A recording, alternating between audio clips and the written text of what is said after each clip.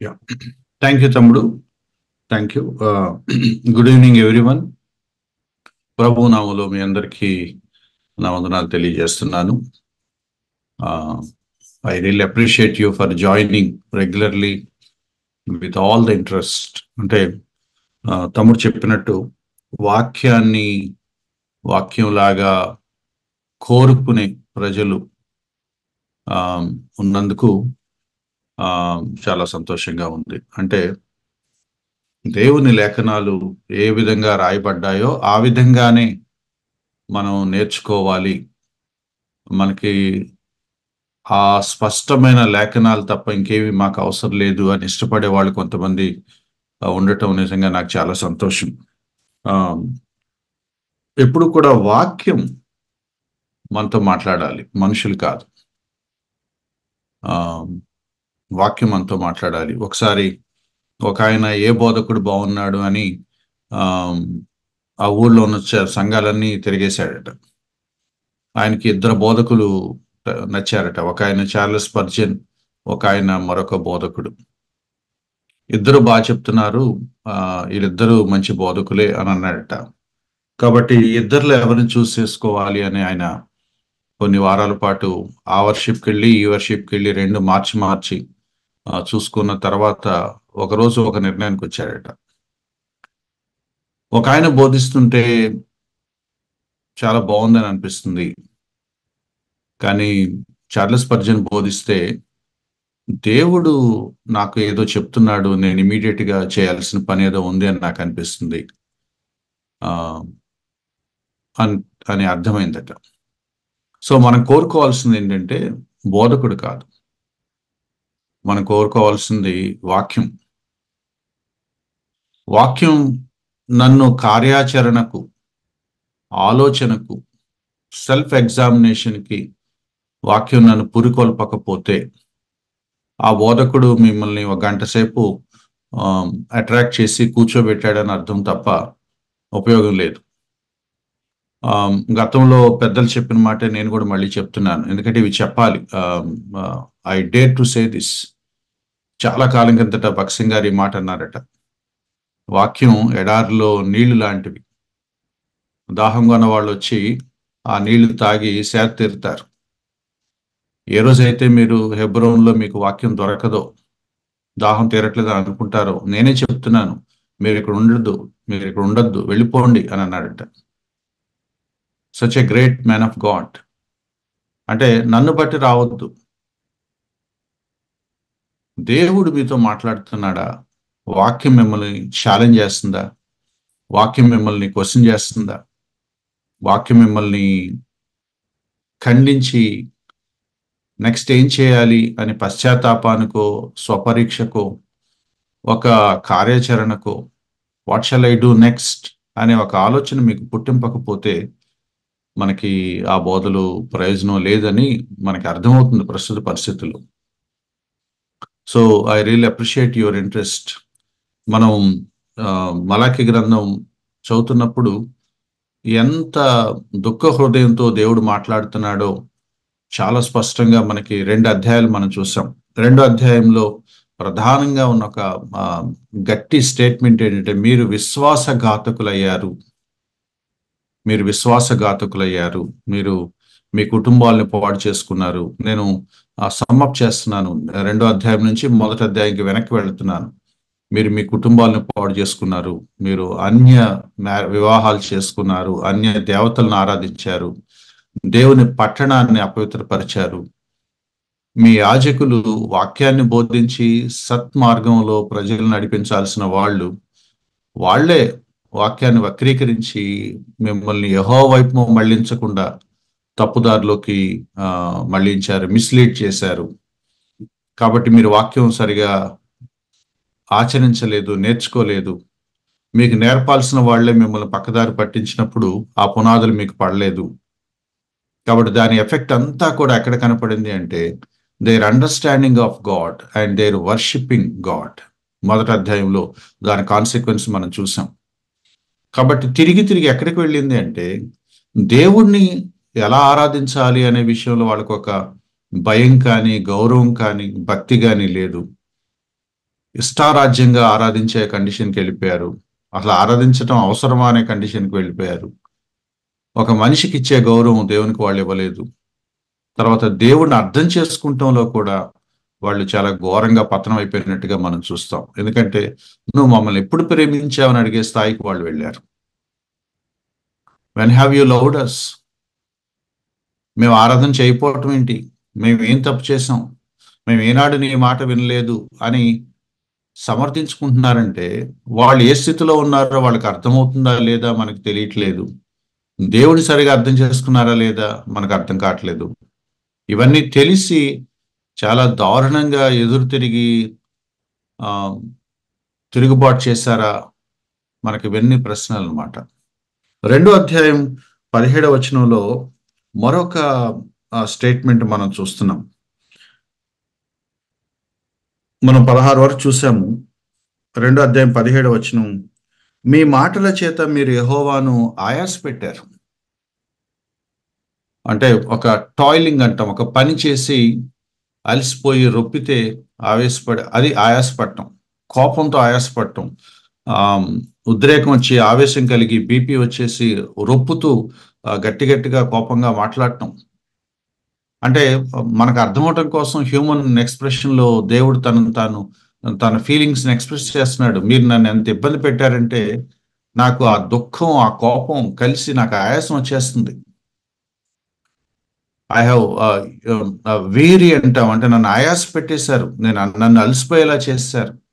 నేను ఒక కట్టలు తెంచుకునే ఒకలాంటి దుఃఖం బాధ నాకు వచ్చేసింది. అంటే మళ్ళీ ఏమరిగినట్టు సేమ్ స్టోరీ మనం గత కొన్ని వారాలుగా చూస్తున్నట్టుగా మీరు ఏం చేశారో మీకు అర్థమవుతుందా అని దేవుడు చెప్పినప్పుడు వాళ్ళు ఏమంటున్నారంటే మేము ఏం చేసాం అసలు? అది చాలా భయంకరమైన ఆన్సర్ అనమాట ఘోరమైన ఆన్సర్ అనమాట that's that's worst answer a man can ever give before God. మీరేంటి ఇలా చేశారు అని దేవుడు అడిగితే క్షమించమని అడగాల్సిన వ్యక్తి అసలు మేమేం చేశామని అడిగితే ఏమనాలి? మీరు నన్ను ఆయాస పెట్టారు అంటే రీజన్ కూడా చెప్తున్నాడు ఆయన. పదిహేడు వచ్చిన మీ మాటల చేత మీరు నన్ను ఆయాస పెట్టారు. మీరు నా గురించి ఏం మాట్లాడుతున్నారు? What statements have you made about మీ మళ్ళీ ఏమరగినట్టు వాళ్ళు అంటున్నారు మేము ఏం మాట్లాడాము? మేమేం మాట్లాడాము? ఏ మాటలతో నేను ఆయాస పెట్టాము మళ్ళీ సేమ్ అదే దీర్ఘశాంతం అదే ప్రేమ అదే ఓర్పు. మీకు తెలియదా మీరేం మాట్లాడారో? మేబీ నాలంటోడు ఉంటే ఒంటి కాలు మీద మీద పడిపోతాడు. కొట్టేయచ్చు. ఏం మాట్లాడుతున్నారు మీకు తెలియదరా? But with all his forbearance endurance ఎంత దీర్ఘశాంతం చూడండి. మళ్ళీ ఆయన ఓపిక అన్నాడట. మీరు దుర్మార్గులు యహోవా దృష్టికి మంచివారు అంటున్నారు. మూడు స్టేట్మెంట్స్ చేశారంట వాళ్ళు. దుర్మార్గులు యహోవాకు మంచివాళ్ళు అంటున్నారట. ఎలా అంటారు? మనం రెండు అధ్యాయాలు లైన్ బై లైన్ చదువుకుంటూ వస్తున్నప్పుడు మీరు ఆనెస్ట్గా చెప్పండి. ఎవరు దుర్మార్గులు? ఎవరు దుర్మార్గులు? ద వెరీ పీపుల్ వీళ్ళే. వీళ్ళు ఏదో నీతివంతులైనట్టు వీళ్ళు ఏదో యథార్థవంతులైనట్టు వీళ్ళు అన్యాయంగా బలైపోతున్నట్టు. ఇంకొకళ్ళు ఎవరో చెడ్డవాళ్ళు ఉంటే దేవుడు వాళ్ళని బాగా ఆశీర్వదించేస్తున్నట్టు. మమ్మల్ని ఎందుకు ఇలా కష్టాలు పాలు చేసావు ప్రభు? వాళ్ళని బాగా ఆశీర్వదించావు కదా ప్రభు? అన్నట్లుగా యహోవా మనకెందుకు హెల్ప్ చేయట్లేదు? చెడ్డవాళ్ళకి ఎందుకు వాళ్ళకి ఫేవర్గా ఉన్నాడు. యహోవ దృష్టికి చెడ్డవాళ్ళు మంచివాళ్ళ కనపడుతున్నారేంటి? ఏం స్టేట్మెంట్ అంటే ఇది? దుర్మార్గులు యహోవ దృష్టికి మంచివారు. అంటే దేవుడు చెడ్డవాళ్ళని ఏమంటున్నాడంటే మంచివాళ్ళని అంటాడట వాళ్ళ ఉద్దేశంలో. Can can God ever do that దేవుడిని వాళ్ళు ఎలా అర్థం చేసుకుంటున్నారో ఈ మాటలు చెప్తున్నాయి. Their understanding of God their understanding of the attributes of God దేవుని వ్యక్తిత్వం ఎటువంటిది? దేవుడి పర్సనాలిటీ దేవుని గుణలక్షణాలు ఎలాంటి? దేవుని స్వభావం ఏంటి? దేవుడు ఏం చేస్తాడు? ఏం చేయడు? వాళ్ళకి అర్థమైందా? లేకపోతే సమర్థించుకోటాకన్నారా? ఎలా అనుకున్నా కూడా how dare this make this statement యహోవా దృష్టికి దుర్మార్గులు మంచి వాళ్ళైతే ఆకాశాన్ని భూమిని చేసిన దేవుడి దృష్టిలో చెడ్డవాళ్ళు మంచివాళ్ళైతే ఆ దేవుడు ఏం దేవుడు? ఆ దేవుడు ఏం దేవుడు? Another dictator another dictator another cruel God cruel ruler ఇంక ఈ దేవుని మనం ఏం నమ్ముతాం? ఏ దేవుడి దృష్టిలో అయితే దుర్మార్గులు మంచివాళ్ళు అవుతారో ఇక ఆ దేవుడు ఎందుకు? ఎందుకు? భక్తిహీనులు నీ సన్నిధిలో నిలవలేరు. బైబిల్ చెప్తున్న మాట. పారిపోతారట ప్రజలు ఆయన సన్నిధికి రావటానికి. దేవదూతలు ఆయనను చూడటానికి సమీపించడానికి భయపడి రెక్కలు అడ్డు పెట్టుకొని పరిశుద్ధుడు పరిశుద్ధుడు పరిశుద్ధుడు అని సమీపింపరాని తేజస్సులోనికి రాలేక మహిమను చూడలేక రెక్కలతో ముఖాలకు అడ్డు పెట్టుకొని భయపడిపోతూ భయపడిపోతూ హోలీ హోలీ హోలీ అంటా ఉంటే అంతటి పరిశుద్ధుడైన నీతిమంతుడైన న్యాయవంతుడైన దేవుణ్ణి పట్టుకొని నీకు చెడ్డవాళ్ళే ఇష్టం లే అంటున్నారంటే ఏంటి ఈ మనుషుల మనసు? ఏంటి? దేవుణ్ణి ఏ స్థాయికి చూస్తున్నారంటే ఎవరో పక్కింటి వాళ్ళతో మాట్లాడుతున్నట్టుగా పక్కింటి మనుషుల మీద అలిగినట్టుగా మీకు మేమెందుకు నచ్చుతాంలేండి? మీకు మీ వాళ్ళు మీరు ఉన్నారుగా మమ్మల్ని ఎందుకు పట్టించుకుంటారు మీరు? అన్నట్లుగా దేవుడి మీద నింద వేస్తున్నారు. ఇప్పుడు మనం చూసాము రెండు అధ్యాయాలు మొదటి అధ్యాయం నుంచి ఏమేం చేశారో చూసాము every five lines or ten lines ఒక ఆరోపణ దేవుడు చేస్తున్నాడు. వాళ్ళు బొకాయిస్తున్నారు ఆయన ఎక్స్ప్లెయిన్ చేస్తున్నాడు. And their worship their offerings their community their ఏమంటాము following the law their observations of scriptures their teachings their ordinances their families their idolatry their adultery అబ్యూజ్గా ఉన్న వాళ్ళ marriages violence in their marriages divorce in their marriages unfaithful couples unfaithful husbands ఇన్ని అడుగడుగున list out చేసుకుంటా వస్తూ ఉంటే ఈ story అంతా పక్కన పెట్టి వాళ్ళు ఏమంటారంటే as if they were good and as if they as if God were bad వాళ్ళేదో నీతిమంతులైనట్టు దేవుడు ఏదో తప్పు చేసినట్లు. యహోవా దృష్టికి ఎలాగైనా దేవుడి దృష్టికి వాళ్ళే కరెక్ట్ అయ్యలేరా అని అంటే ఏంటి? వీళ్ళట సరిగా ఆరాధన చేయరట దేవుడికి భయపడరట దేవుడిని గౌరవించరట దేవుడు చెప్పిన మాట వినరట ధర్మశాస్త్రం పాటించరట ఒక బలి అర్పణ సరిగా ఇవ్వటానికి మనసు రాదట చేయి రాదట పవిత్రంగా ఉండాలని అనిపించదంట కుటుంబం పట్ల బాధ్యత ఉండదంట లేకపోతే everything mention in the full two chapters. అవేమి చేయరట. వీళ్ళ పైన పారసీక రాజ్యం లేకపోతే పర్షియా వాళ్ళు పరిపాలిస్తున్నారని కోపమాట. ఎంతకాలం మనకి ఎవరెవరు వచ్చి పరిపాలిస్తారు? మనకంటూ రాజ్యం ఎప్పుడు రాదా? మనం మనం ఎప్పుడు పరిపాలించుకోలేమా? ఏం చేస్తున్నాడు దేవుడు? మీరు విధేయత చూపించకుండా ఒక్క మాట కూడా మీరు దేవుడిది వినకుండా మీకు ఇస్రాయెల్ రాజ్యం వచ్చేయాలి దావీదు లాంటి రాజు మిమ్మల్ని పరిపాలించాలి. How is it possible how is it possible many times many times we in our personal lives have the same attitude why don't do anything that please God దేవుణ్ణి సంతోషపెట్టే పని ఏమి చేయము దేవుడికి లోబడము దేవుని మాట వినము చూడండి చాలా క్రైస్తవ జీవితాలు ఎలా ఉంటాయో. సండే ఆరాధనకి వెళ్ళాలనేది వాళ్ళకి పెద్ద క్రైటీరియా కాదు. కుదిరితే వెళ్తారు లేకపోతే లేదు. వెళ్ళాలనే ప్రయారిటీయే లేదు అసలు. కుదిరితే వెళ్తారు కుదరకపోతే వెళ్ళరు. రోజు బైబిల్ చదువుకుంటారా? తెలియదు అది పెద్ద క్రైటీరియా కాదు. కుదిరితే ఎప్పుడన్నా లేకపోతే లేదు. రోజు ప్రార్థన చేసుకుంటారా? తెలీదు. చేస్తారు లేదో వాళ్ళకే తెలీదు. అవసరం వచ్చినప్పుడు చేస్తారు. వాక్యానుసారంగా జీవిస్తారా? తెలీదు. అసలు ఆలోచన లేదు. They never do anything according to the Bible and they they they dare to criticize God ఎందుకంటే దేవుడు ఇట్లా చేస్తున్నాడు? ఎందుకు ఇలా చేస్తున్నాడు? ఒక ఆయన నాకు ఒకసారి ఫోన్ చేశాడు. వాళ్ళ ఇంట్లో ఒక విచారమైన సందర్భం ఒక విషాదం జరిగింది. ఆ బాధ తట్టుకోలే చేశాడు ఎందుకు ఇలా చేస్తున్నాడండి దేవుడు? అని నన్ను అడుగుతాడు. నేనే చెప్పను? ఆన్సర్ బ్రదర్ మీకు జరిగిన విషాదం I understand but I don't know somehow God allowed it నాకు బాధగానే ఉంది బట్ గాడ్ అలౌడ్ ఇట్ అలా ఎలా చేస్తాడండి? అంటున్నాడు. ఎలా ఎలా చేస్తాడండి అంటే నేను I try to console him I try to comfort him I try to pacify him but వింటలేదు. ఎక్కడి దాకా ఆర్గ్యూ చేస్తున్నా అంటే అసలు ఏంటి న్యాయం? ఎక్కడుందండి న్యాయం? ఇంకా రకరకాల క్వశ్చన్స్ వేశాడు.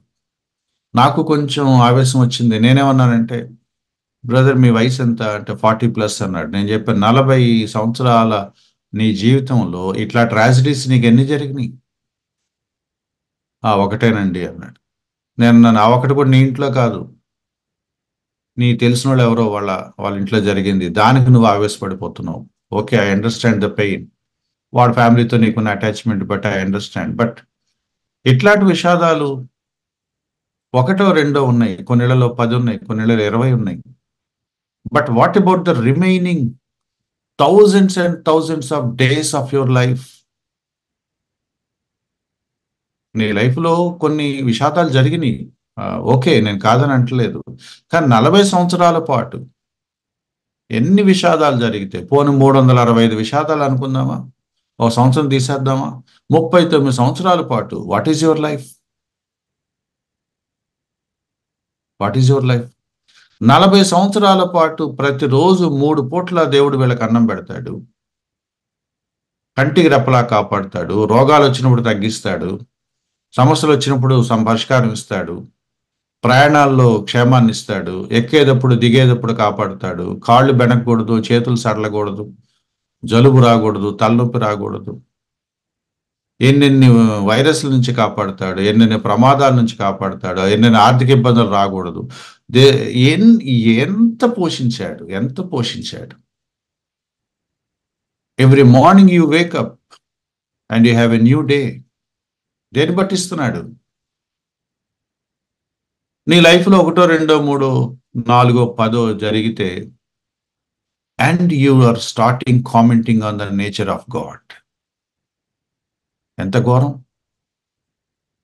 నీ లైఫ్ అంతా దేవుని దీర్ఘశాంతానికి ఆయన దయకు ఆయన కరుణకు శాంపిల్ లాగా కనపడుతుంటే నీ లైఫ్ ఉదాహరణలా కనపడుతుంటే అంత గొప్ప లైఫ్లో పదో ఇరవయో సంఘటనలు నీకు జరగలేదని లేకపోతే నచ్చలేదని and you are commenting on the personality of God చూడండి వీళ్ళు చేసే పనులన్నీ నిజమే ప్రభా మేము ఇలా చేసాం మమ్మల్ని క్షమించు ప్రభా అని అనకపోగా తమ మాటలతో దేవుని ఆయాసపెడుతున్నారు. ఈయన దుర్మార్గుల వైపు ఫేవర్గా ఉన్నాడట. మరి ఏనాడు చూసారో ఎవరిని చూశారు ఎంత ఘోరమైన బ్లేమ్ ఇది. యహోవా తట్టుకుంటాడు ఆ మాటకి. దుర్మార్గులు నీ దృష్టికి మంచివారిలాగా ఉన్నావయ్యా అంటే దేవుడు ఎట్లా తీసుకుంటాడు? అంతటితో ఆపలేదట వాళ్ళు. వారి ఏందో ఆయన సంతోషపడను. హీ డిలైట్స్ ఇన్ దెమ్ ఏమన్నా అర్థం ఉందా? దేవుడు చెడ్డవాళ్ళ విషయంలో ఆనందిస్తాడా? చెడ్డవాళ్ళని చూసి వాళ్ళ జీవితాలు చూసి వాళ్ళ ప్రవర్తన చూసి వాళ్ళు చేసే క్రియలని చూసి అలా ఎంజాయ్ చేస్తా. అదిరా లైఫ్ అంటే how beautiful are these people అని అనుకుంటాడా? Perverted understanding of God perverted understanding of God నాస్తికుల arguments ఇవే. నాస్తికుల ఆర్గ్యుమెంట్స్ ఇవే. అవిశ్వాసుల ఆర్గ్యుమెంట్స్ ఇవే. నువ్వెందుకు దేవుడికి లోబట్టలేదు అంటే వాడు ఎందుకు దేవుడు లోబట్టలేదో రీజన్ చెప్పడు వాడు. లోకంలో జరిగింది కదా ఏమైపోయాడు దేవుడు? And they start questioning the nature of God the personality of God Bible అంటుంది ఏం తెలుసని దేవుడి గురించి మీరు దేవుడిని క్వశ్చన్ చేస్తారు? ఎంత తెలుసని క్వశ్చన్ చేస్తారు? Look at your life your everyday life ఎంత కరుణ ఎంత దీర్ఘశాంతం ఎంత క్షమాపణ కుమ్మరిస్తున్నాడు ఎవ్రీడే మనల్ని. కుమ్మరిస్తున్నాడు. ఏ రోజైనా మీరు చేసిన దానికి ఇమీడియట్గా ప్రతిఫలం వచ్చిందా మీ జీవితంలో? రిమెంబర్ ఇప్పుడు ఇంత మాట్లాడుతున్నా కూడా ఇటువంటి మాటలు వింటున్నా కూడా ఇందని అదే అన్నాను నేను గనక అక్కడ ఉంటే వెంట మేరపడి కొట్టి చంపేస్తుండేవాడిని. And how God is patient kind gracious బాబు మీరు ఇలా ఇలా మాట్లాడుతున్నారేంటి అని అంటున్నాడు. ఏం మాటరా? నేను దుర్మార్గులు మంచోళ్ళుగా చూడటం ఏంటరా అని ఒక్కటి నరికేస్తే ఒక మాట చాలదా దేవుడి దగ్గర నుంచి? ఒక అగ్ని వచ్చి కాల్చేయలేదా అర సెకండ్లో వాళ్ళు గుండెలు ఆగిపోవా? పెట్రోల్ రాలేంటి శవాలు పడిపోరా? Careless attitude careless understanding of God. Wrong understanding of God false notion of God దేవుడు ఇలా ఎందుకు చేస్తున్నాడండి? ఓకే దేవుడు అలా ఎందుకు చేస్తున్నాడు? అంటానికి ముందు నువ్వు ఏం తెలుసుకోవాలి? What is God who is God దేవుని గుణలక్షణాలు తెలిసిన వాడెవడు? ఈ స్టేట్మెంట్స్ చేయడు. దేవుని గుణలక్షణాలు ప్రాపర్గా అర్థం కాని వాడే ఈ ప్రశ్నలు వేస్తాడు. చాలాసార్లు మేము కౌన్సిలింగ్ చేసేటప్పుడు ఏమనంటామంటే you need to understand the attributes of God దేవుడు అలా చేయడు. దేవుడు అలా చేయడు. దేవుడు ఇలా ఎందుకు చేస్తున్నాడు బ్రదర్? అలా చేయడు. మీరు అనుకుంటున్నారు దేవుడు అలా చేస్తున్నాడు అని దేవుడు అలా చేయడు. బైబిల్ చెప్తుంది చెడ్డవారిని చూసి వ్యసన పడద్దు. భక్తిహీనులు చూసి నువ్వు ఆలోచించొద్దు. నువ్వు డిస్టర్బ్ అవ్వద్దు. భక్తిహీనులు వరదిల్లుతున్నారు కాబట్టి దేవుడు భక్తిహీనుల వైపు ఉన్నాడంటే ఆ లాజిక్ చాలా పిచ్చి లాజిక్ దుష్టుడికి వెంటనే శిక్ష చేయాలి. ఇంకా ఎందుకు బతుకున్నాడు? స్పాట్లో శిక్ష చేయాలి కరెక్టే మరి వాట్ అబౌట్ మీ ఒక ఆయన అడిగారట చెడ్డవాళ్ళు బయట రోడ్డు మీద తిరిగేస్తున్నారు. వికెట్ పీపుల్ దేవుడు ఎందుకు వాళ్ళు ఇంకా బతకనిస్తున్నాడు? స్పాట్లో తన తన న్యాయాన్ని చూపించవచ్చు కదా శిక్షించవచ్చు అంటే ఆ దైవ సేవకుడు అన్నాడట if that is the case ఏనాడో మనం చచ్చిపోయి ఉండేవాళ్ళం మనమెవరు? Are we not the wicked people are we not the disobedient people are we not the unfaithful people ఇట్లాంటి క్వశ్చన్స్ వచ్చినప్పుడు నేనేదో పరిశుద్ధుడిని మిగిలిన వాళ్ళందరూ అక్రమకారు లాంటి టోన్ ప్రజల్లో వినపడతా ఉంటుంది. ఎందుకు శిక్షించలేదు కొంతమందిని దేవుడు అని ప్రశ్నించినప్పుడు గుర్తుపెట్టుకోండి. మిమ్మల్ని ఎందుకు శిక్షించలేదో వాళ్ళని కూడా అందుకే శిక్షించలేదు. మిమ్మల్ని ఎందుకు ఉండనిచ్చాడో వాళ్ళని కూడా అందుకే ఉండనిచ్చాడు. మిమ్మల్ని ఎందుకు దీర్ఘశాంతంతో సహిస్తున్నాడో వాళ్ళని కూడా అందుకే సహిస్తున్నాడు. స్కేల్ ఒకటే. మూడో క్వశ్చన్ అన్నారట న్యాయకర్తకు దేవుడు ఏమాయను? న్యాయకర్తకు దేవుడు ఏమాయను? దేవుడు న్యాయం ఏమైంది? న్యాయం గురించి మాట్లాడుతున్నారా మీరు? అన్యాయంగా జీవిస్తుంది ఎవరు? అన్యాయంగా దేవాలయాన్ని ఘోరంగా వ్యాపారమయం చేసింది ఎవరు? బాబు మీరెవరు రాకుండా ఉంటే బాగుండు దేవాలయం ఎవడైనా తలుపులు మూసేస్తే బాగుండు అన్నప్పుడు ఏమైపోయింది మీ న్యాయం? మీ కుటుంబాలు కుటుంబాలు అన్ని ఆచారాల వైపు బయలుదేవతల వైపు వెళ్ళిపోయి కల్మషం అయిపోయినప్పుడు అప్పుడు మాట్లాడలేదా న్యాయం గురించి? See when people talk about justice దేవుడు గురించిన ప్రాథమిక అవగాహన వాళ్ళకి లేదు కాబట్టి ఆ మాట వాళ్ళు అడుగుతున్నారు. If that is the case మనం ఇంతవరకు బ్రతికుండే వాళ్ళం కాదు. డూ యూ వాంట్ జస్టిస్ నీకు కావాలా న్యాయం? ఓకే నా న్యాయం చూపిస్తానని కనుక దేవుడు ఆ త్రాసు పట్టుకొని కొలిచి ఎవడి లెక్క ప్రకారం వాడికి ప్రతిఫలం ఇస్తే ఏమైపోతాం మనం? ఏమైపోతాం? అసలు ఇన్ని సంవత్సరాలు మనం బతుకుండే వాళ్ళం కాదు. ఏనాడో ఏనాడో న్యాయం తీర్చు ప్రభు అని మనం అడగటానికి మనం భయపడాలి. ఎందుకంటే న్యాయం తీర్చమని అడిగినప్పుడు ఆ న్యాయం నాకు కూడా కొలుస్తానంటే యేసుక్రీస్తు వారు అన్నారు నువ్వు ఏ కొలతో కావాలో ఆ కొలత కొలిసేస్తున్నాం మీరు ఎలా కొలిసిస్తారో మీకు అలాగే కొలిసి ఇవ్వబడుతుంది. జస్టిస్ చూడండి. మంచితనానికి మూలం ఎవరు? దేవుడే. న్యాయానికి మూలం ఎవరు? దేవుడే. నీతికి మూలం ఎవరు? దేవుడే. ఆయన్ని పట్టుకొని ఆయన దుర్మార్గులు ఆయనకి ఇష్టం మంచివాడు ఆయనకు నచ్చరు. ఆయన నీతి ఏమైపోయింది? ఆయన న్యాయం అంటే ఒకప్పుడు న్యాయంగా ఉన్న దేవుడు ఇప్పుడు న్యాయాన్ని వదిలేసి అన్యాయంగా పరిపాలిస్తున్నాడా? ఏంటి నీ బ్లేమ్ ఏంటి? దేవుడు మారతాడా? దేవుడు తన స్వభావానికి విరుద్ధంగా చేస్తాడా? తన నీతిని మానుకుంటాడా? న్యాయంగా ప్రవర్తించడం తప్ప ఇంకోటి ఏమైనా చేస్తాడా దేవుడు? తన నీతికి విరుద్ధంగా ఏ పనైనా చేస్తాడా?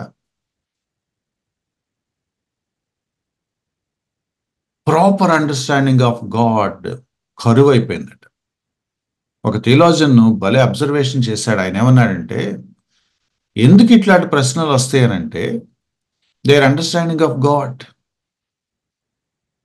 ఎందుకు వాళ్ళ అండర్స్టాండింగ్ ఆఫ్ గాడ్ సరిగా లేదు అంటే ఫస్ట్ చాప్టర్ దేవుడికి భయపడలేదు దేవుడిని గౌరవించలేదు దేవుడి గురించి ఏమి సరిగా నేర్చుకోలేదు. దేవుడితో వాళ్ళ రిలేషన్ సరిగా లేదు దేవుడిని ఆరాధించే పద్ధతి బాగలేదు వాళ్ళ వర్షిప్ బాగలేదు వాళ్ళ రిలేషన్ బాగలేదు వాళ్ళ అండర్స్టాండింగ్ బాగలేదు. వాళ్ళ మాటలు ఎందుకు బాగుంటాయి? Your words say what you are ఎవరైనా దేవుడి గురించి కొన్ని వ్యాఖ్యలు చేసినప్పుడు ఊరికి అన్నానండి అంటే నో నో నో నో నీ హృదయంలో నీకున్న దృక్పథమే నీ మాటల్లో బయటకు వచ్చింది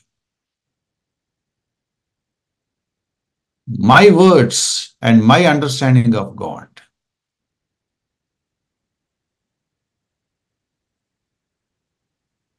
Tozer అని ఆయన ఈ మాట అన్నాడు ఏడబ్ల్యూ టోజర్ దేవుని గురించిన నీ అవగాహన ఎలా ఉంటుందో నీ లైఫ్ కూడా అలాగే ఉంటుంది.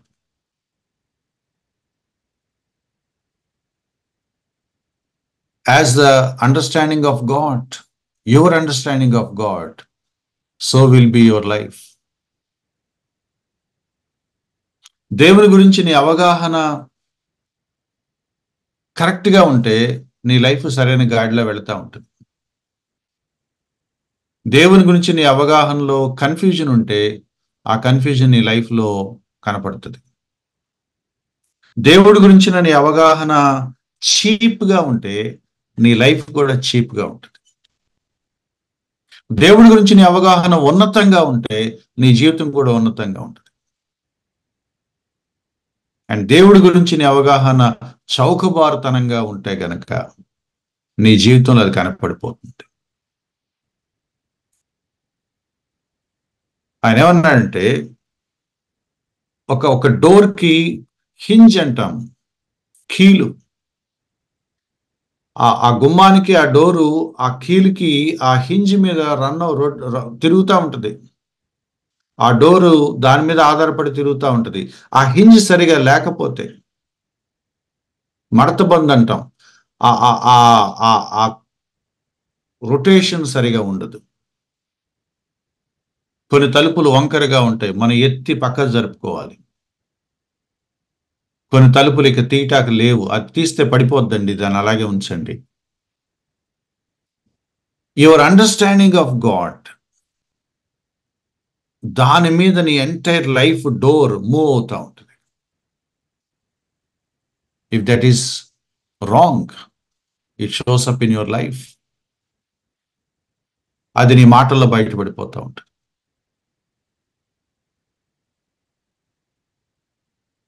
స్టీవ్ ఫర్టిక్ అనే ఒక ప్రాస్పరిటీ బోధకుడు. దేవుడు ధర్మశాస్త్రాన్ని ఉల్లంఘించేశాడు అన్నాడట. ఏదో దేవుణ్ణి గొప్ప ప్రేమమయుడిగా చూపించే ప్రయత్నంలో ఈ మాట అనేశాడు.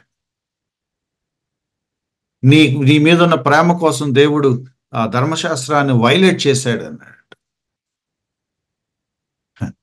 his understanding of God his understanding of God ఆ మధ్యలో రంజిత్ ఓఫీర్ అని అనుకుంటా దేవుడి గుణ లక్షణాలు నాకు కూడా ఉన్నాయని అన్నాడు. హిజ్ అండర్స్టాండింగ్ ఆఫ్ గాడ్ నీ అవగాహన నీ మాటల్లో బయటపడుతుంది. కొంతమంది తమను తాము గొప్పగా చూపించుకుంటారు దేవుళ్ళలాగా చూపించుకుంటారు. అందుకే ఇంకొక మొరటి వర్షన్ దేవుడిని కొంతమంది క్వశ్చన్ చేస్తారు. కొంతమంది మేమే దేవుడు అన్నట్టుగా మాట్లాడతారు. కొంతమంది దేవుడిని క్వశ్చన్ చేస్తారు. రెండు ఎక్స్ట్రీమ్ వ్యూసే రెండు డిస్టార్టెడ్ వ్యూసే. దేవుడి గురించిన నీ అవగాహన సరిగా లేదు అంటానికి ఇగో దీస్ ఆర్ ద స్టేట్మెంట్స్ న్యాయకర్తకు దేవుడు ఏమాయను అని చెప్పుకుంటుంటే దేవుడికి బాధ కలిగిందంట. మీ మాటల చేత నన్ను దుఃఖపెడుతున్నారు. మీకు జస్టిస్ కావాలి కదా. నేను ఎలాంటి వాడినో మీకు చూపించాలి కదా. దుష్టుల విషయంలో నేను ఏం చేస్తానో మీకు తెలియాలి కదా. ఎవరి విషయంలో నేను ఆనందిస్తానో మీకు తెలియాలి కదా. Now see what I'm going to do అని ఆయన మూడో అధ్యాయంలో ఆన్సర్ చెప్తున్నాడు. ఏమంటున్నాడంటే ఇదిగో నాకు ముందుగా మార్గం సిద్ధపరుస్తున్నాను. మీరేమన్నారు? దుర్మార్గులు ఆయన దృష్టికి మంచివాళ్ళు అన్నారు కదా. దుర్మార్గులు ఏ విధంగా నాకు మంచివాళ్ళని మీరు అనుకుంటున్నారు? దుర్మార్గుల విషయం నేను ఏం చేస్తాను మీకు చూపిస్తాను. ఆయన దుర్మార్గులు చెడ్డవాళ్ళ విషయంలో ఆయన ఆనందిస్తాడని మీరు అంటున్నారు కదా. నేను ఎవరి విషయంలో ఆనందిస్తానో మీకు నేను చూపిస్తాను. I prove. అండ్ న్యాయం ఏమైందని అంటున్నారు కదా. న్యాయకర్త ఏమయ్యాడు అంటున్నారు కదా. న్యాయకర్తకు దేవుడు ఏం చేయబోతున్నాడో మీకు చూపిస్తాను. And then begins the third chapter నాకు ముందుగా మార్గం సిద్ధపరచుటకై నేను నా దూతను పంపుచున్నాను. ఏం చేస్తాడు? న్యాయకర్త దేవుడు దుర్మార్గుల విషయంలో ఏం చేస్తాడు? తను ఆనందించే మనుషుల విషయంలో ఏం చేస్తాడు? కాబట్టి దేవుడు చెప్తున్నాడు one I will send a messenger నా దూతను పంపుచున్నాను. He will prepare the way నాకు మార్గం సిద్ధపరుస్తాడు. ఎవరి మెసెంజర్ కొంతమంది మలాకే అన్నారు. ఇక్కడ దూత మెసెంజర్ అనే మాటకి మలాకి అనే పేరుకి మెసెంజర్ అనే అర్థం ఉందట. I will send my messenger అనే మాటలో పన్ను ఉందట. మెసెంజర్ అనే అర్థం వస్తుంది మలాకి అనే ప- పదం వస్తుందట. కాబట్టి మలాకిని పంపిస్తా అన్నాడేమో. ఓ అలా తీసుకున్నా కూడా అప్పుడు ప్రజలకు ఇదిగో నా ప్రవక్తను పంపించి మీకు మళ్ళీ మళ్ళీ నేను రిమైండ్ చేస్తున్నాను అని అన్నా కూడా అది తర్వాత వచ్చిన వాళ్ళకి సింక్ అవ్వలేదట.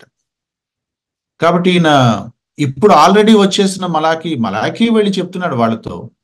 మలాకి చెప్తే ఇంకోళ్ళు పంపిస్తాను అన్నప్పుడు డెఫినెట్గా ఇంకొక ఆయన రావాలి కాబట్టి అది మలాకి కాదు. ఇంకొక మెసెంజర్ ఎవరో వస్తాడు. అయితే ట్విస్ట్ ఏంటంటే మీరు వెదుగుచున్న ప్రభు అనగా మీరు కోరు నిబంధన దూత తన ఆలయం నాకు హఠాత్తుగా వచ్చింది. ఆ దూత ఈ దూత ఒకటే అని అనుకున్నారట బైబిల్ పండితులు. కానీ చూస్తుంటే డిస్క్రిప్షన్లో కాస్త తేడా ఉందట.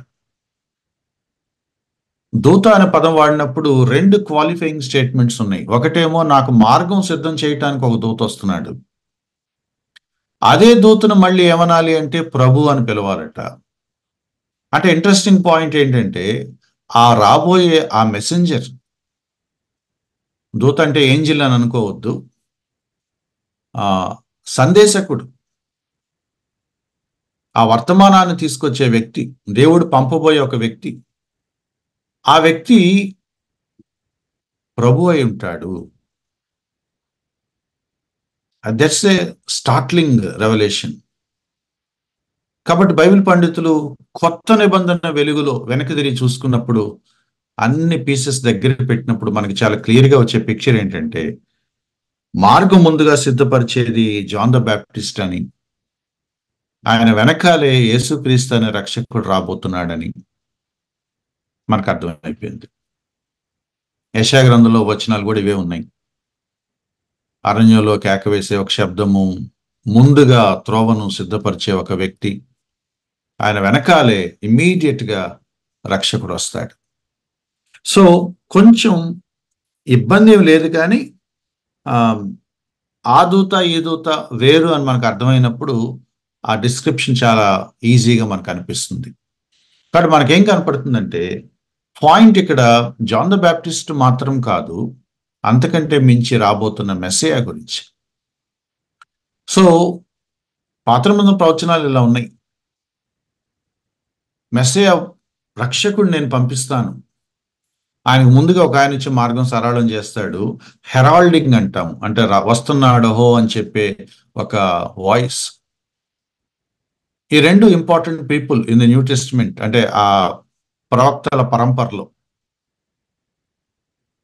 సో ఇక్కడ ఏమన్నాడంటే ఆయనేమో మార్గం సిద్ధం చేస్తాడు. ప్రజలు ఆ రక్షకుడిని అంగీకరించడానికి వాళ్ళ హృదయాలను ప్రిపేర్ చేస్తాడు. ఆ రక్షకుడు వస్తాడు. ఇస్రాయేల్ ప్రజలు ఎప్పుడు ఎదురు చూశారు. రక్షకుడు కావాలి మెస్సయ వస్తాడు మెస్సయ వస్తాడు. కాబట్టి మీరు కోరుకున్న నిబంధన దూత. ఇందులో సెటైర్ ఉందని కొంతమంది బైబిల్ పండితుల ఉద్దేశం. ఐరానికల్ స్టేట్మెంట్ అని కూడా అంటున్నారు. ఎందుకంటే రెండు అధ్యాయులు మనం ఇప్పుడుదా చదువుకున్నాం. నిజంగా రక్షకుడి కోసం ఎదురు చూసే జనాంగమైన వీళ్ళు? దేవుడు వ్యంగ్యంగా అంటున్నాడంట మీరు కోరుకున్నారు కదా ఆ రక్షకుడిని ఎదురు చూశారు కదా ఇష్టంగా. ఎప్పుడు ఎక్కడ? ఆ బలర్పించేటప్పుడు వాళ్ళకి అర్థం మనకు అర్థమైపోయింది వాళ్ళు రక్షకుడి కోసం ఎదురు చూసే రక్షణ వాళ్ళకి లేదని. ఆ ధర్మశాస్త్రం ఆచరించేటప్పుడు అర్థమైపోయింది. రక్షకుడి గురించిన స్పృహ వాళ్ళకి లేదు but still God is faithful to his promise వాళ్ళు నమ్మకంగా ఉన్నారు రక్షకుడిని పంపించట్లేదు. ఆయన వాగ్దానం చేశాడు కాబట్టి ఆ రక్షకుడిని పంపిస్తున్నాడు. అండ్ uh, రక్షకుడిని పంపిస్తాననే మాట మళ్ళీ గుర్తు చేస్తున్నాడు. మీ కండిషన్కి సొల్యూషన్ ఏంటో తెలుసా? మీరు అన్న మాటలకి సొల్యూషన్ ఏంటో తెలుసా? దుర్మార్గుల విషయంలో యహోవా ఏం చేస్తాడు? భక్తిహీనుల విషయంలో ఏహో ఏం చేస్తాడు? ఎవరి విషయంలో ఏహో ఆనందిస్తాడు? తన న్యాయాన్ని నీతిని ఏ విధంగా ఆయన ప్రదర్శిస్తాడు? న్యాయకర్త అని ఎలా రుజువు అవుతుంది? బై హిస్ సేవియర్ క్రైస్ట్ యేసుక్రీస్తు అనే ఈ రక్షకుడు రావటం వలన దేవుని నీతి వెల్లడవుతుందట. దేవుని న్యాయం వెల్లడవుతుందట.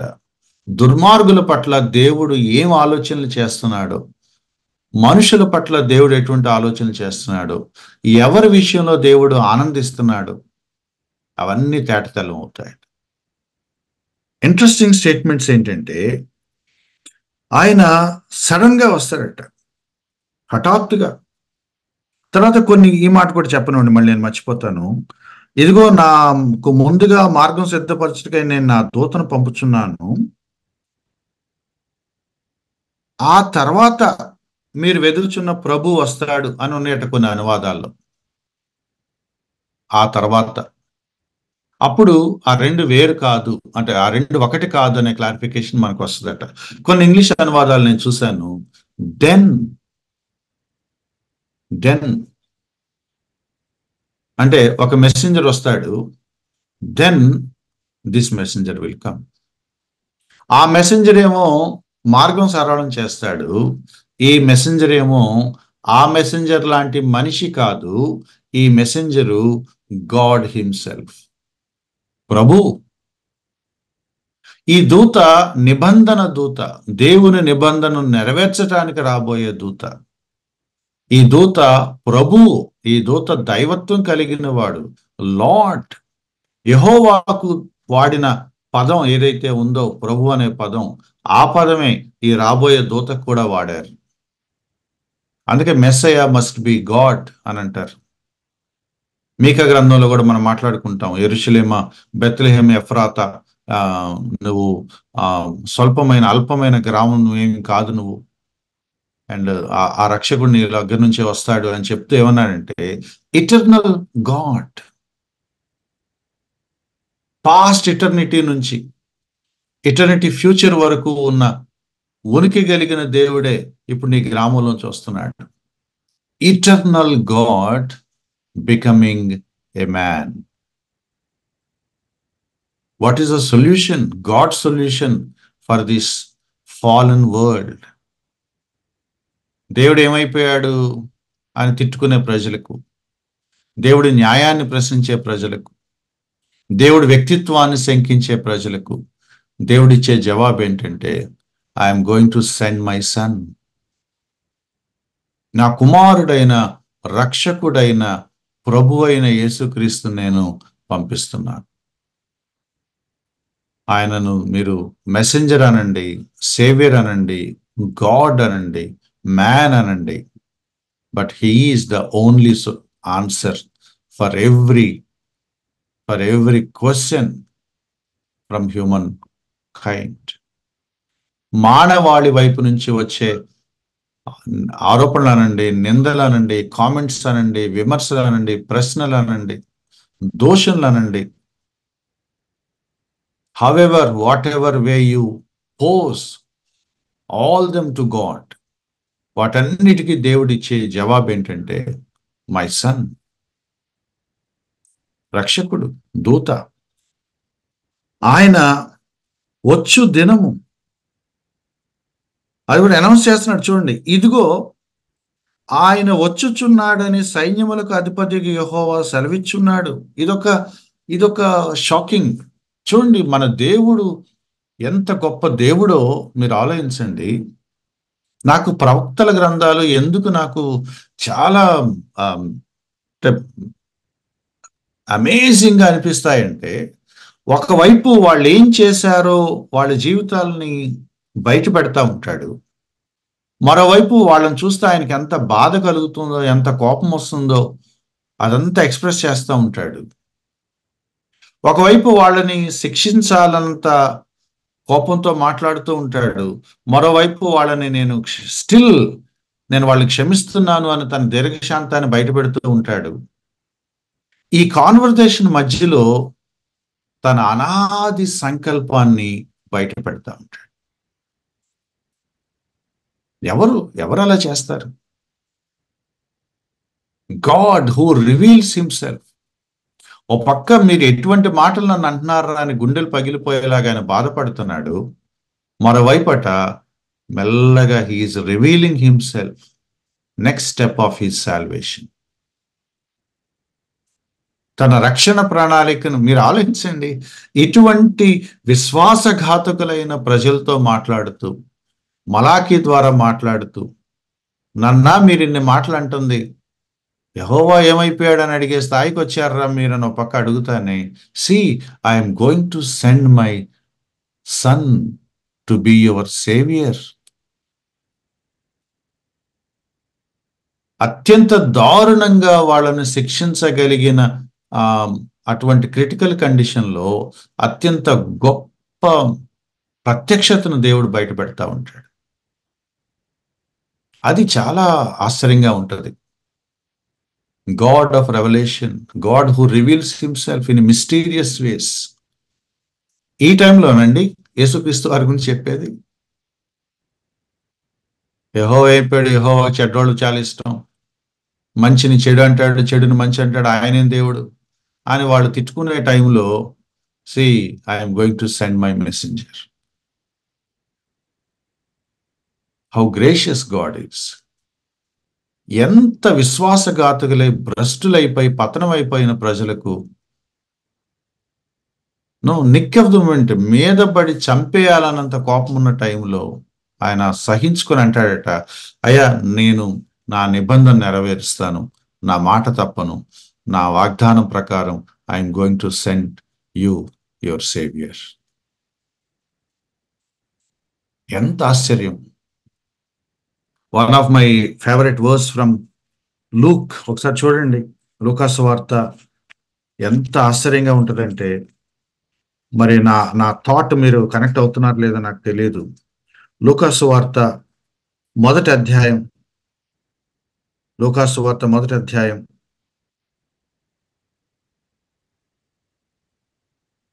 అరవై ఎనిమిది నుంచి. లూకాసు వార్త మొదటి అధ్యాయం అరవై ఎనిమిది నుంచి. జకర్య పరిశుధాత్మ పూర్ణుడై ప్రవచిస్తున్నాడు. ప్రభైన అయిన ఇస్రాయేల్ దేవుడు స్థుతింపబడును గాక కొంచెం కిందకు వస్తే తన సేవకుడైన దావీదు వంశంలోంచి రక్షకుడు పంపిస్తా అన్నాడు. ఇంకొంచెం కిందకు వస్తే తన పరిశుద్ధ ప్రవక్తల ద్వారా ఆ మాటలు చెప్పాడు. ఇంకొంచెం కిందకు వస్తే తన పరిశుద్ధ నిబంధన అంటే మన తండ్రి అయిన అబ్రహాముతో తాను చేసిన ప్రమాణమును జ్ఞాపకం చేసుకున్నాడు. సి అవర్ గాడ్ మీరు ఎంత దరిద్రంగా బ్రతుకుతున్నా కూడా మీరు ఎంత భ్రష్టత్వానికి దిగజారిపోయినా కూడా మీరు ఏ స్థాయికి తెగించి దేవుణ్ణి దూషించడానికి మీరు సిద్ధమైనా కూడా మిమ్మల్ని ఏమీ సంహరించకపోగా నాశనం చేయకపోగా మీతో సంభాషణ చేస్తూ ఆర్గ్యూ చేస్తూ మీరు ఏం చేశారో మీకు అర్థమయ్యేలాగా ఒప్పించేలాగా ఒక స్నేహితుడిలాగా అరే బాబు మీరు ఏం చేశారో మీకు అర్థమవుతుందా అని తన ప్రవక్తల ద్వారా మళ్ళీ మళ్ళీ గుర్తు చేస్తూ. మనం అవిశ్వాసులమే కానీ నమ్మదగని వాళ్ళమే కానీ తిరుగుబాటు చేసిన వాళ్ళమే కానీ బట్ హీఈస్ ఆల్వేస్ ఫెయిత్ఫుల్ మీరు ఇలా ఉన్నారు కాబట్టి మీరే నిబంధన లెక్క చేయనప్పుడు నాకేం పట్టింది అని ఆయన అనలేదట. తన నిబంధన ఆయన మర్చిపోలేదు. తన వాగ్దానాన్ని ఆయన మర్చిపోలేదు. జకరి అంటున్నాడట దేవుడు తన పితరులకు ఇచ్చిన మాట జ్ఞాపకం చేసుకున్నాడు. In see here is that baby here is that baby ఈ ఈ రక్షకుడు భూమి మీదకి వస్తాడట. ఆయన వచ్చినప్పుడు ఆయన ఎవ్వరు బేర్ చేయలేరట. రెండవ వచనం ఆయన వచ్చే దినాన్ని ఎవరు ఓర్వగలరు? కొంతమంది ఏమన్నారంటే అది సెకండ్ కమింగ్ గురించిన వచ్చినమేమో అన్నారు. అఫ్ కోర్స్ ఎందుకంటే తీర్పు గురించిన మాటలాగా ఉంది కాబట్టి అది సహించలేని ఓర్వలేని ఆ భయంకరమైన దినం దేవుని ఉగ్రత దినం కాబట్టి సెకండ్ కమింగ్ అని అన్నా కూడా ఈవెన్ ఫస్ట్ కమింగ్ కూడా అలాగే ఉంది. ఎవరు భరించారు ఆయన్ని? ఎవరు సహించారు? Herod he wanted to kill him Pharisees they wanted to kill him all the leaders they wanted to kill him రాజులు చంపాలనుకున్నారు హేరోద్ చంపాలనుకున్నాడు. పుట్టినప్పుడు హేరోద్ కాదు. బాప్తిస్ చౌహాన్ చంపిన హీరోద్. వాడు ఆయన చెవిలో వేశారట. ఆ బాప్తిస్ చౌహాన్ అయిపోయింది నెక్స్ట్ నీ సంగతే అన్నట్టుగా మాట్లాడారట. ఆయన అన్నాడు ఆ నక్కతో ఇలా చెప్పండి అన్నాడు. ఎవరు వచ్చుకున్నారు ఆయన ఎవరు వచ్చుకోలేదు everyone in all his life they wanted to kill him they wanted to kill him they wanted to kill him రాళ్ళు వేసుకొడదాం అనుకున్నారు. కొండ మీద తోసి చంపేద్దాం అనుకున్నారు. రకరకాల ప్రయత్నాలు చేశారు. అండ్ ఎవరు ఓచుకుంటారు ఎవరు ఓచుకోలేరు ఆయన కంసాల అగ్ని వంటి వాడు చాకలి వాని సబ్బు వంటి వాడు. దేంతో పోల్చాలి? కంసాలతో పోలుద్దామా? అగ్నితో పోలుద్దామా? చాకలి వానితో పోలుద్దామా? సబ్బుతో పోలుద్దామా? రాసిన పద్ధతి చూస్తే ఆయన కంసాలి అగ్ని వంటి వాడు. కాబట్టి మనం దేంతో పోల్చాలి? అగ్నితో పోల్చాలి. ఆయన ఏం చేస్తారంటే ఈ రక్షకుడు ప్యూరిఫై చేస్తారంట ఒక ఒక కొలిమిలోకి ఆ కంసాలి అగ్నిలోకి మనం ఆ మెటల్ను పంపించినప్పుడు అది దాన్ని కాల్చి రీఫైన్ చేసి రీఫైన్ చేసి ప్యూరిఫై చేసి ఆ మస్టు మలినం మకిలి అన్ని తీసేసి ఆ మేలిమి ఆ బంగారం ఆ వెండి బయటకు వచ్చేలాగా ప్యూరిఫై చేస్తాడు. రీఫైనర్ అట ఆయన. Refiner's fire. రెండోది ఆయన క్లెన్సింగ్. శుభ్రం చేస్తాడట కడుగుతాడట పవిత్రపరుస్తాడట సబ్బులాగా. చాకలి వాడు ఏదేదో వాడతాడు ఆ మురికి మొత్తం వదిలిస్తాడు. బ్లీచింగ్ లాగా. రెండు మాటలు కనపడుతున్నాయి ఈ వచ్చే ఈ మెసెంజర్ ఈ రక్షకుడు ఈ మెస్సేయ ఈ saviour he purifies he refines he cleanses he washes కింద ఒక మాట అన్నాడు నిర్మలంగా తయారు చేస్తాడంట. ప్యూర్గా తయారు చేస్తాడు. ఏ మలినము లేకుండా తయారు చేస్తాడు. శుభ్రం చేస్తాడు. క్లీన్గా తయారు చేస్తాడు. ప్యూర్గా తయారు చేస్తాడు. ఇక నీలో ఆ చెడు ఆ మస్ట్ ఉండటానికి వీలు లేనంతగా నిన్ను కడిగి పవిత్రపరుస్తాడు.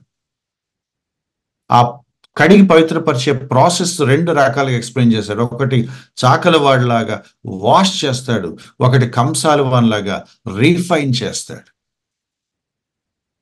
It may be painful but it is essential అగ్నిలాగా ఏదో చేస్తాడు సబ్బులాగా ఏదో చేస్తాడు.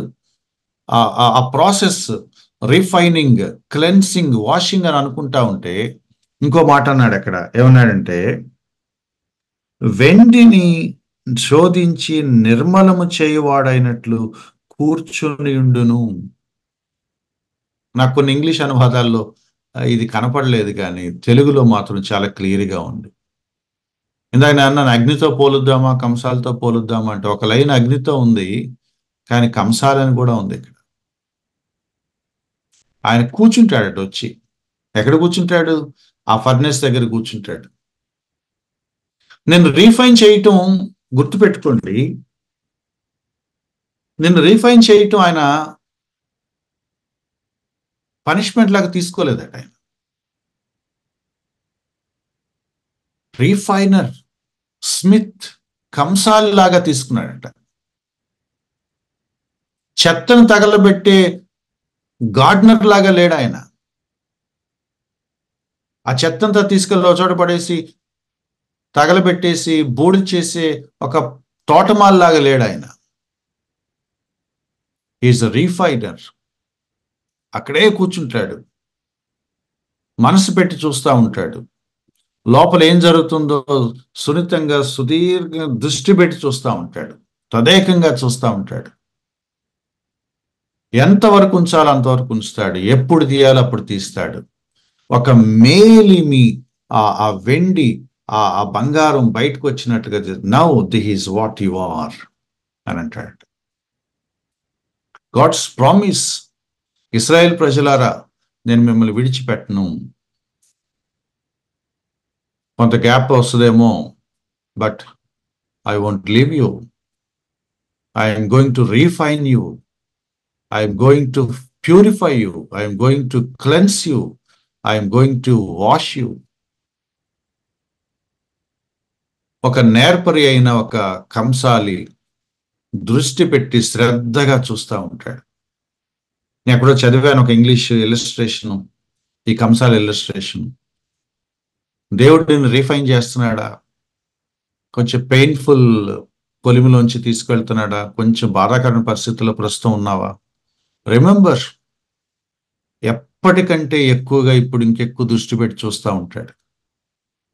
ఎందుకు? హీఈస్ ద రీఫైనర్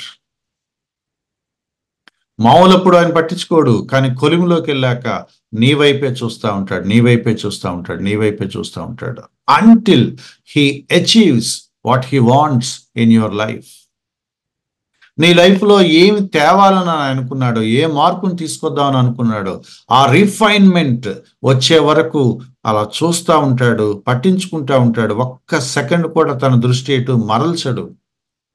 నేర్పరేయని కంసాలి తను అనుకున్నది సాధించినప్పుడు వెంటనే దాన్ని బయటికి తీస్తాడు. దెన్ ప్రపంచాన్ని చూపిస్తాడు.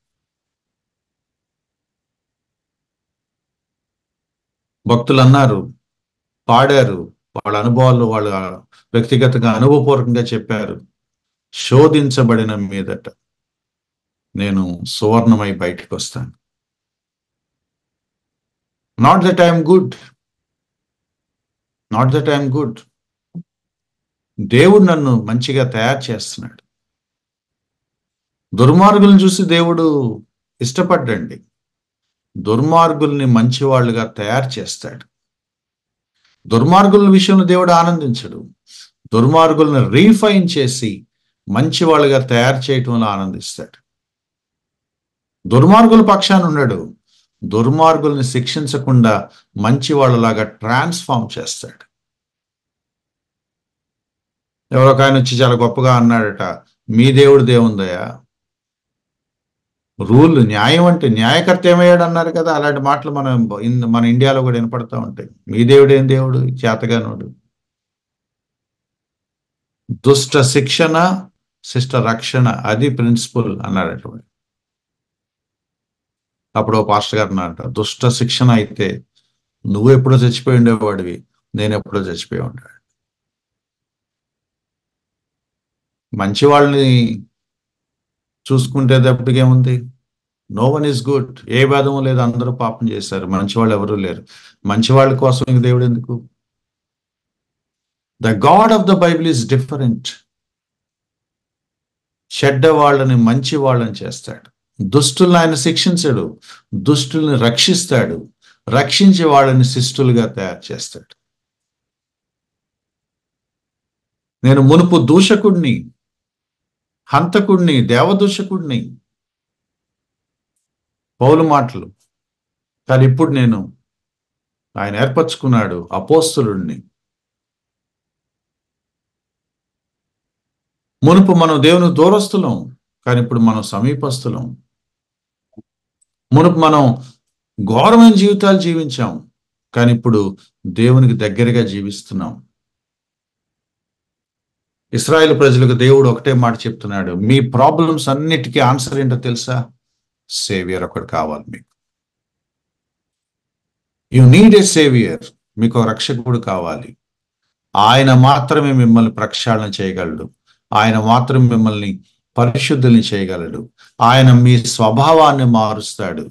ఆయన మీ ప్రవృత్తిని మారుస్తాడు. ఆయన మాత్రం మిమ్మల్ని ఒకలాగా క్లీన్ చేసి ఆ సమస్త మలినం అంతా తీసేసి ప్యూరిఫై చేసి ప్రాపర్గా దేవుని అర్థం చేసుకొని ప్రాపర్గా దేవుని వెంబడించే ఒక హృదయం ఆ యేసుక్రీస్తు మీకు ఇస్తాడు. No other way. ఏం చేయాలి ఈ ప్రజలు? They should look for the saviour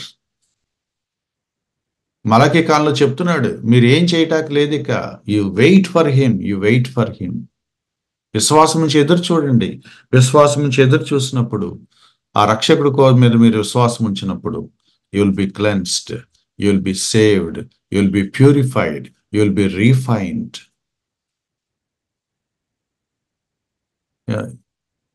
ఎంతమంది ఈ సెషన్లో జాయిన్ అయ్యారో నా మాటలు వింటున్నారో నాకు తెలియదు whatever doubts you have towards God whatever questions you have towards God నీ వ్యక్తిగత జీవితం గురించి కానీ నీ కుటుంబం గురించి కానీ నీ భవిష్యత్తు గురించి కానీ లేకపోతే ఈ సమాజంలో ఉన్న చెడు గురించి కానీ ప్రశ్నల గురించి కానీ అస్తవ్యస్తమైపోయిన ఈ ప్రపంచం గురించి కానీ ఎందుకు ఇట్లా జరుగుతుంది ఎందుకు ఇట్లా జరుగుతుంది ఏమైపోయాడు దేవుడు అని ఒకవేళ మీలో కూడా ప్రశ్నిస్తా ఉంటే గుర్తుపెట్టుకోండి. నిజానికి ఆ ప్రశ్న అడిగే అర్హత మనకు లేదు. But still the gracious God is giving the answer and that answer is Christ himself Christ is God's answer for every question from the mankind why అని మీరు ఏ ప్రశ్న అన్నా వేయండి. అది ఏదైనా కానివ్వండి. అది ఏదైనా కానివ్వండి. మీరు చెప్పుకోలేని ప్రశ్నలు అయినా అవనివ్వండి. The only answer is a saviour. Christ అని ఒక రక్షకుడు. నేను ఆయన పంపిస్తాను. ఆయన మీరు తట్టుకోవటం కొంచెం కష్టం అవుతుంది. But if you surrender to him if you obey to him if you believe in him is going to refine you cleanse you purify చూడండి మిమ్మల్ని డిస్ట్రాయ్ చేస్తాడని అంటలేదు. నేను ఒక ఆయన పంపిస్తున్నాను మీ సంగతి తేలుస్తాడని అంటలేదు. ఆయన మిమ్మల్ని ప్యూరిఫై చేస్తాడండి. ఏం దేవుడైనా? ఏం దేవుడు? ఎంత దీర్ఘశాంతం. స్లో టు యాంగర్ అంటే ఏంటో ఇప్పుడు అర్థమవుతుంది మనకి. ఇప్పటికీ ఆయన కోపపడ్డట yet he is giving another phase of opportunity and he is leading them to Christ ఇక వీళ్ళ నాశనం చేద్దాం అంత కోపం వచ్చిన ఆ చివరి క్షణంలో ఆయన మళ్ళీ ఏమంటున్నాడంటే you have a chance to meet my Savior, to meet my messenger. మీరు ఇంకెవరైనా ప్రభుని రక్షకుడిగా అంగీకరించకపోతే this is the right time this high time. దేవుడి మీద మీకు బోడని ప్రశ్నలు ఉన్నాయా? మీ లైఫ్ గురించి మీకు బోడని ప్రశ్నలు ఉన్నాయా? ప్రపంచం అంతా మీకు అర్థం కాక ఏంటి ప్రపంచం? మీకు ప్రశ్నలు ఉన్నాయా? ఎందుకు ఇలా జరుగుతుందనే ప్రశ్న మీకుందా? అర్థం కాని అనేకమైన ప్రశ్నలు వాటన్నిటికీ దేవుడు ఒకే ఒక ఆన్సర్ని పంపించాడు. God incarnate. దేవుడు భూమి మీదకి మనిషిగా వచ్చి ఐ ఆమ్ ద ఆన్సర్ అన్నాడు. Christ the answer. మీరు అవిధేయంగా జీవిస్తున్నారా? దేవుని సరిగా అర్థం చేసుకోలేకపోతున్నారా? దేవుని క్వశ్చన్ చేస్తున్నారా? యేసుక్రీస్తు వారి దగ్గర పశ్చాత్తాపడండి క్రైస్ట్ విల్ రీఫైన్ యూ. దేవుడి మీద మీకు బోళ్ళని సందేహాలు ఉన్నాయా? యేసుక్రీస్తు వారి దగ్గర పడిపోండి. క్షమించమని అడగండి. He will refine you. దేవుడు మీకు అంతు చెక్కట్లేదా నమ్మశక్యంగా అనిపించట్లేదా? ఆయన పాదాలు పట్టుకోండి. క్రైస్ట్ విల్ రీఫైన్ అది ఎటువంటి ప్రాబ్లం అయినా సరే తప్పు మీ వైపు ఉన్నా సరే లేకపోయినా సరే మీరు న్యాయంగా ఆర్గ్యూ చేస్తున్నా సరే అన్యాయంగా ఆర్గ్యూ చేస్తున్నా సరే దేవుడు మీకు ప్రాపర్గా అర్థమైనా సరే అర్థం కాకపోయినా సరే దేవుడు ఏమంటలేదు నేను నా దూతను పంపిస్తున్నాను. If you believe in him you will get the answer you will get the answer let me close here my friends మళ్ళీ ఇంకో సెషన్ మళ్ళీ మనం కంటిన్యూ చేసుకుందాం. ప్రాపర్ అండర్స్టాండింగ్ ఆఫ్ గాడ్ లేనప్పుడు పర్వర్టెడ్ స్టేట్మెంట్స్ అబౌట్ గాడ్ వస్తాయి. Proper understanding of God లేనప్పుడు life మొత్తం పర్వర్టెడ్గా మారిపోతుంది. ప్రాపర్ అండర్స్టాండింగ్ ఆఫ్ గాడ్ లేనప్పుడు రకరకాలుగా దేవుణ్ణే దూషిస్తూ దేవుణ్ణే నిందించే వ్యాఖ్యలు మనం చేస్తాం. It it happens it happens in every one's life no one is exception but the only answer is do really want to see who God is do really want to know what God is ఆయన గుణలక్షణాలు ఏంటో ఆయన స్వభావం ఏంటో ఆయన ఎటువంటి వాడు ఆయన నీతి ఏంటో ఆయన న్యాయం ఏంటో మీకు తెలుసుకోవాలనుందా? ఆయన ఒక రక్షకుడిని పంపించాడు. మీరు ఆయన చూడండి. If you know Christ you will know who God is if you know Christ you will know God who God is proper understanding of God మీకు రావాలంటే you should proper understanding of Christ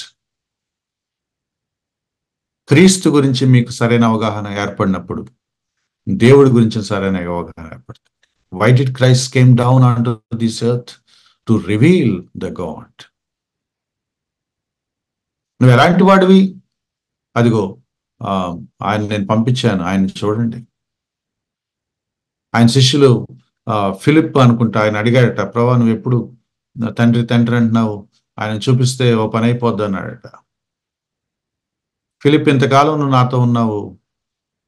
Why don't you understand this నన్ను చూసిన వాడు తండ్రిని చూడాల్సిన అవసరం లేదు. నన్ను అర్థం చేసుకున్న వాడికి తండ్రి అర్థం అయిపోతాడు I think you you missed the point అన్నాడు